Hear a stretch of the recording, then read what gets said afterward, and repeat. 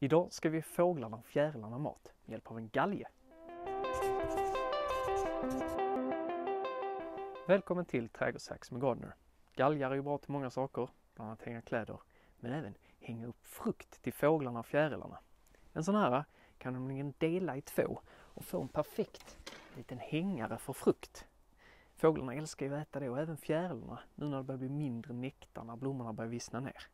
Då tar man bara sin galge, tar man en fallfrukt, lite skador på. Sen trycker man den igenom, gärna igenom kärnhuset så sitter den längre. Sen hänger man upp den på hängrännan sådär så kommer fåglarna och fjärilarna där och käkar. Man kan ju ha flera såklart. Ser hur trevligt ut som helst när de hänger här. Och man kan ju också göra en liten bara av en vanlig ståltråd till exempel. Bara trycka igenom äpplet och sen hänga upp den så här precis vid fönstret. kan man se när de göttar sig där. Lycka till!